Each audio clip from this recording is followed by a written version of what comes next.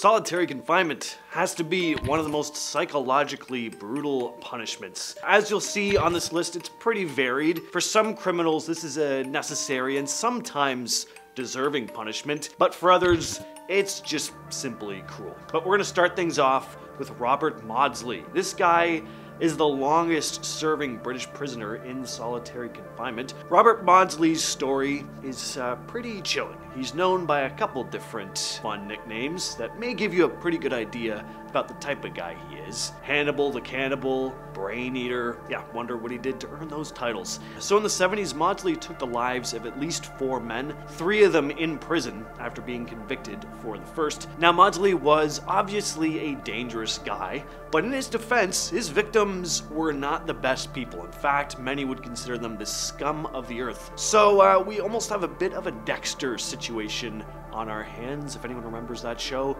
Regardless of how awful his victims were themselves, though, it was clear this guy was a bit of a danger to the other prisoners, and in 1983 he was placed in solitary, where he's been for most of his time behind bars. He spends around 23 hours a day alone in a cell. Oh, and the brain uh, eater nickname. Apparently, there's a rumor that he may have consumed part of the brain of one of his victims, but it's not 100% known if that's true or not. Next up, we have Charles Bronson. Not Death Wish Charles Bronson, uh, but the British dude. This guy is a whole different kind of character. His real name is Michael Peterson, but he's better known as Charles Bronson, named after the actor. This guy has spent a ton of his life behind bars, and he's kind of infamous for being a troublemaker in prison. He's been in and out of jail since the 70s for all sorts of stuff. He's got uh, quite the reputation. Bronson has spent a good chunk of his time in solitary, like a lot. And I mean, we're talking about a guy who's known for his violent outbursts and all that, so they kind of couldn't figure out what to do with him, so they just like stuck him in isolation. Now, being in solitary for anyone is tough, but for a guy like Bronson, who's already got a reputation for being a bit unhinged, it's a whole other level of crazy. He's become kind of a controversial figure because some people see him as a victim of the system, while others think he's just brought it all on himself with his wild behavior. In terms of what he did, he first landed himself in jail for armed robbery, but he also had a hobby of fighting prison guards, or just anyone. Dude just loves to fight. If you want to watch a wild movie, check out Bronson, starring Tom Hardy as the titular Charles Bronson. Uh, pretty awesome movie. Next on the list, we have the Angola Three. So these were three guys Albert Woodfox, Herman Wallace, and Robert King, stuck in the Louisiana State Penitentiary, also known as Angola Prison. They spent an insane amount of time in solitary confinement most of their adult lives, a little over 40 years. So Woodfox and Wallace got thrown in solitary in the 70s uh, for taking the life of a prison guard. The thing is, there are a lot of people who believe uh, they were set up because they were Black Panthers fighting for better conditions in the prison. Then there's Robert King, who was in solitary for 29 years for a crime he apparently didn't even do. He finally got released when they found out he was innocent. These guys endured extreme isolation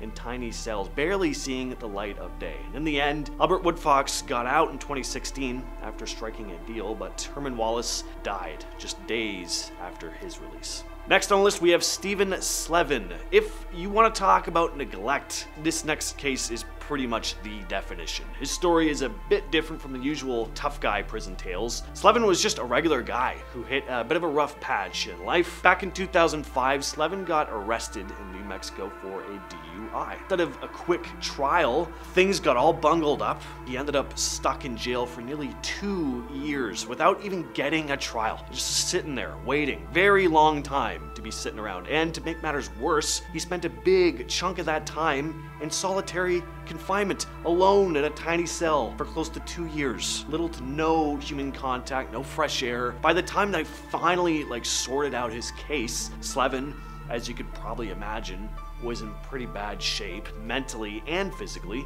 He later sued the county, and in 2013 he got a settlement for around 15 million bucks, but he passed away not long after that. All right, let's bring it back to the scarier side though, with Edmund Kemper, someone who is exactly where he should be, away from everyone else. So Kemper was this big, imposing dude. He's kind of like a real life Jason Voorhees. He stood at six foot nine and had a uh, very chilling intelligence about him. It's a bad combo, like, you know, ill intentioned and smart. Not great.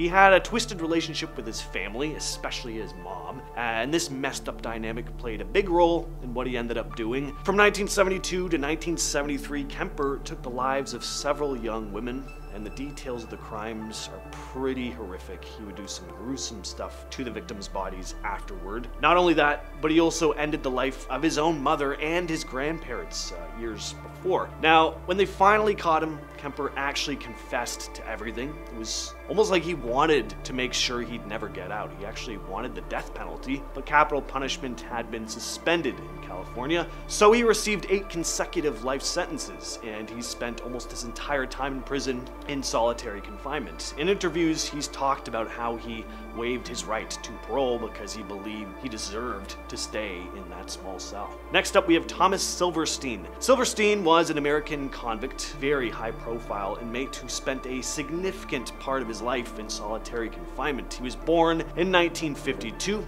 and he landed himself in prison for armed robbery. He spent the rest of his life in the slammer after a series of violent incidents while in prison. He took the lives of three prisoners while he was involved with the Aryan Brotherhood, beginning with a man named Danny Atwell. For this, he received a full life sentence. Eventually, he took the life of a prison guard, Merle Clutts, at the Marion Penitentiary in Illinois in 1983. After that, he was placed in solitary confinement and he would become one of the most isolated prisoners in the United States. He spent almost 36 years in solitary, mostly in a specially designed cell at the federal prison in Florence, Colorado, known as the Alcatraz of the Rockies. In his isolated cell, he had minimal human contact, limited access to the outside world, and strict restrictions on communication. Next on the list is Richard Lee McNair. This guy is crafty, honestly, kind of impressive. Uh, It's no wonder he's in solitary confinement. If they don't keep their eyes on this guy, he'll just find a way to slip away. He was convicted after a botched robbery. One man was severely injured while the other died. McNair was responsible, of course, and was sentenced to life in prison without parole.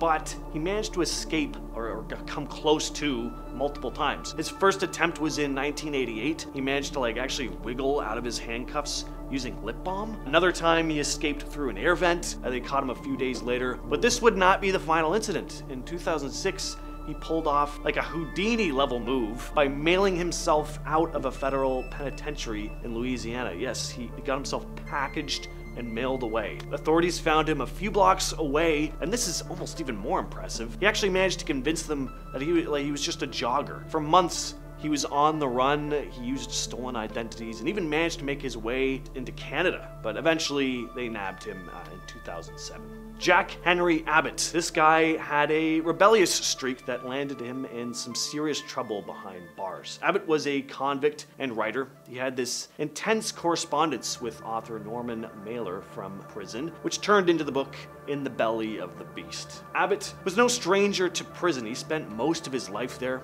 for different crimes, but he had this knack for just making things worse and worse for himself. His rebellious behavior got him thrown into solitary confinement more than once. Imagine being like stuck in a tiny cell all alone because he just couldn't play by the rules. Abbott seemed like he just couldn't help himself. This pattern continued even after his book got attention. People started talking about him. Just over a month after his release and the book is out and everything, in 1981, he stabbed a waiter at a New York City cafe, died of his injuries, and so Abbott was sent right back to prison and eventually took his own life in 2002. Next up is a guy who totally deserved to be isolated from the rest of the world Robert Hansen. Sure a lot of you have heard of this guy before. He did some incredibly disturbing stuff to women. The details are pretty horrific. He took the lives of at least 17 women and he'd take his time. He'd often uh, let his victims run off into the woods, giving them a chance to think they'd escape, and then he'd hunt them down like wild animals. Luckily, though, he ended up in prison. Now, here's the thing he wasn't exactly Mr. Popular among the other inmates, as you can probably imagine, considering what he did, and because of that, they separated him from the rest of the inmates solitary confinement. And on one hand, yeah, this is a good thing. Solitary confinement does sound like absolute hell, which is where this guy belonged. But it is kind of frustrating knowing that he was put in solitary for his own protection. I don't know, it just seems kind of gross to me. And finally, we have Aileen Wuornos. Wuornos had a rough life from the get go. Honestly, would have been far more shocking if she grew up to be a well adjusted member of society. Uh, she had a string of just horrible experiences that eventually led her down a dark path. Basically,